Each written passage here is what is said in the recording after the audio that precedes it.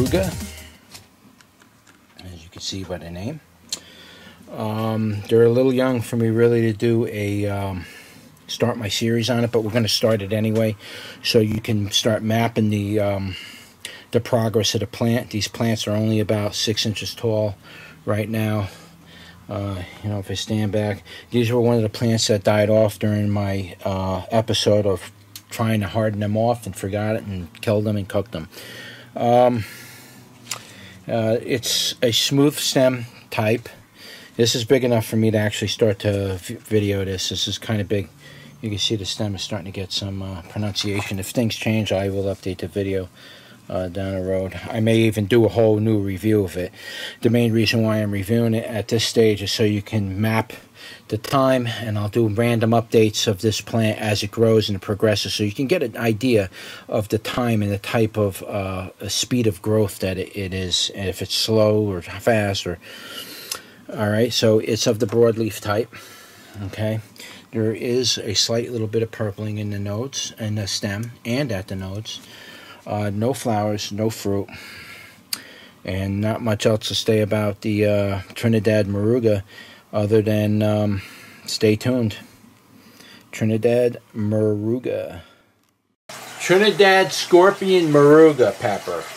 I paid $6 for these seeds, so I didn't get these cheap, guys. I wanted to make sure I got some good quality seeds, and uh, I'm hoping I did. This is the Moruga. and um, I don't know, what did they say? What something else is one pepper, they use a lot of different names for it. I don't know if that's a scorpion, the moruga. You know, they mix a lot of names.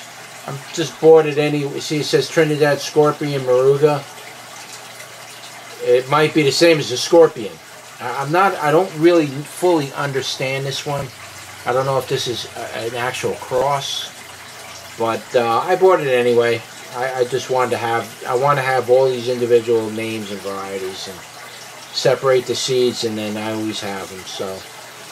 Uh, I paid six dollars Tradewind Fruits. Here's the seeds. Alright. Looks like a chinense from here I can't see the name. Alright nothing on the back. Got plenty of seeds left in that pack. And Scoville units it says on average, but can reach as high as 2 million. So this is going in the world's hottest, in the playlist for the world's hottest. Just so you know you're dealing with something that could really harm you. Alright, so you can see the Scoville units are very high on this. It's Capsicum chinense. There's some details below. That's about all I really picked up on the net and uh, uh, put inside this uh, profile. So that's it. That's the Trinidad Scorpion Moruga Pepper. Tradewind Fruits.